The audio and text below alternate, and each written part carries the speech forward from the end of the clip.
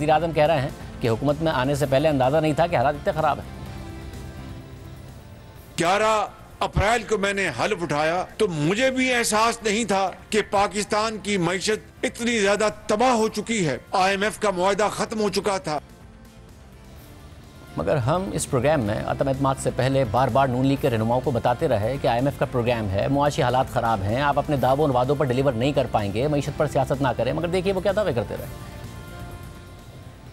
आपकी हुकूमत होती तो मुझे बताएँ आप आज आईएमएफ के प्रोग्राम में होते हुए पेट्रोल कैसे सस्ते कर देते आवाम को रिलीफ कैसे दे देते? शाहजेब हम भी आईएमएफ प्रोग्राम में गए थे और पहले महीने गए थे। उसी आईएमएफ प्रोग्राम में रहते हुए रिकॉर्ड लो था 40 साल का discount rate record low inflation थी उसी आईएमएफ प्रोग्राम में रहते हुए। कुछ चीज़ों में तो मीशत के ऊपर सियासत खत्म करनी पड़ेगी ना। अब पेट्रोल की कीमतें अगर बढ़ रही हैं और बाकी खत्े में ज़्यादा हैं तो पेट्रोल की कीमत पे भी आप कहेंगे पेट्रोल बॉम्ब और ये सारी की सारी बातें करेंगे, आप आएँगे, आपको भी बढ़ानी पड़ेंगी ये कीमतें। खुद आईएमएफ को निमट चुके हैं। आप खुद निगोसिएशंस कर चुके हैं एक दफ़ा 2018 के इलेक्शन से पहले, नहीं माना आईएमएफ अब क्या करें?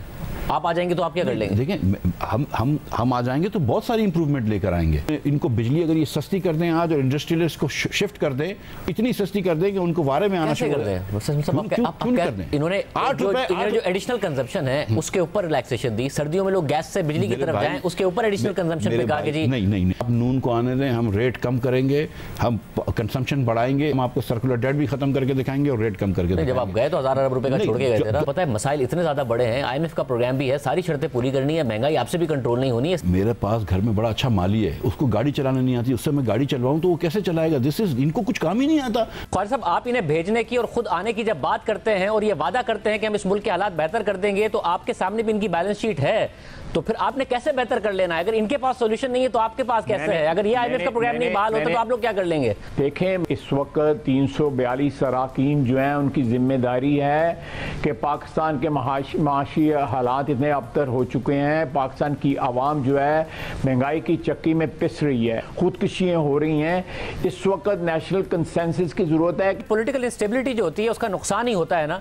मीशत के ऊपर फिर सियासत होती है। बैन अवी मार्केट में तेल की कीमतें बढ़ी हैं। हुकूमत आईएमएफ के प्रोग्राम में हैं, उनके साथ कुछ कमिटमेंट्स हैं, मगर अब हुकूमत अपने सर्वाइवल की जंग लड़ रही है। अगर आप भी इकतदार में आएँगे तो मुल्क इस तरह चलेगा नहीं। फ्यूल एडजस्टमेंट अगर कीमतें बढ़ी हुई हैं, वो नहीं कर पाएगी हुकूमत तो आपको भी मसाइल आएँगे। इसका आप क्रेडिट ले रहे हैं यही परेशान कन बात है। आपके साथ भी मसाइल होंगे।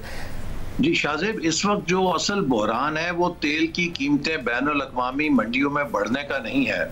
असल बहरान यह है कि ये हुकूमत साढ़े तीन साल में गवर्नेंस करने में नाकाम रही है। और वही हो रहा है। नून लीग की हुकूमत फंस गई है।